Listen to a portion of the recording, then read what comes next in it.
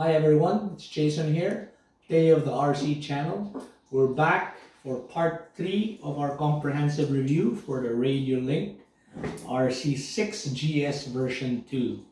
Okay, first things first is I need to figure out how to put the telemetry cables to fit for this technology of the buggy as this is an old uh, Mugen Seiki MBX5 and uh, we don't have this connectors right here.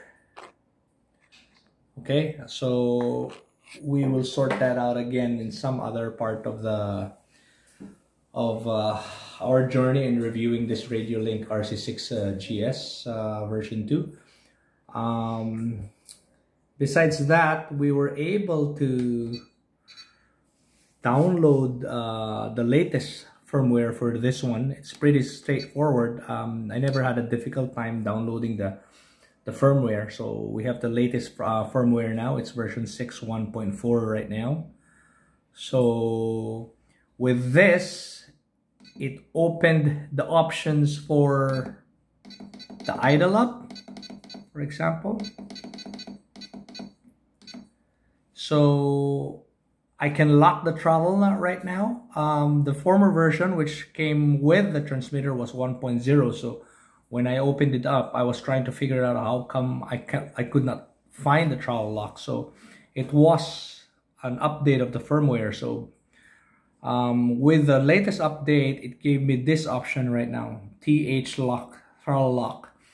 We are at uh, negative 30% uh, right now um, and assign the, the SWA switch button here.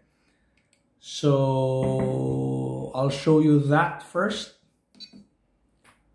And then uh, we go over the gyro later. Okay, so we connect the batteries now. Turn on the buggy. You can see the color locked now. So, okay, so I'm gonna show you how the throttle lock uh, works uh, for gas uh, for gas uh, or nitro RCs. They work with we call them idle lock. So here it goes. This is a throttle servo. Look what happens. So I lock it at 30%. So uh, it's easier for me to start it at cold now because it opens up at 30%. Okay, that's it.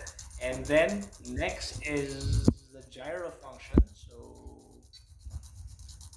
the gyro right now is um, set at 15%. So I'll go down to, I mean, I'll go up to a more sensitive uh, setting, let's say 50%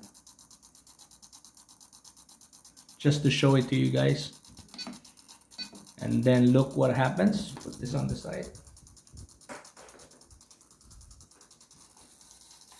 You can see that every time I move the whole the buggy um, it self-corrects. It's almost like a traction control system of, of, of, of real cars. So yeah and uh, but you don't want to you don't want to overwork your steering servo so uh, you better choose the, the optimum um, percentage setting for your car or your RC. So I'm gonna go back to setting it again back to my setting of 15%. So that's how easy it is to set it. There you go.